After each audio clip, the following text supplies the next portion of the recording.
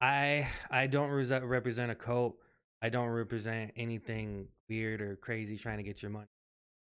Uh, I do have a Patreon. I got some books on Amazon. Go look me up, Seth Kinstle. Uh, you know, there, there's different things going on. I got different things going on different places.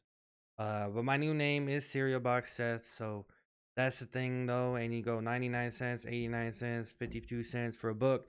And you settle on 99 cents and you go to Amazon and you look up Seth Kinstle and you're like, damn, this is working out for me. And um and you're like, holy shit, you know, I gotta do this. I gotta make moves. I gotta fucking buy this guy's book. And so you buy the books and you're like, damn, and you read them and like, damn. And then you move on and then you look back and you're like, damn, that guy's like most famous guy in the world. And you're like, holy shit, really? And it's like, oh, cool.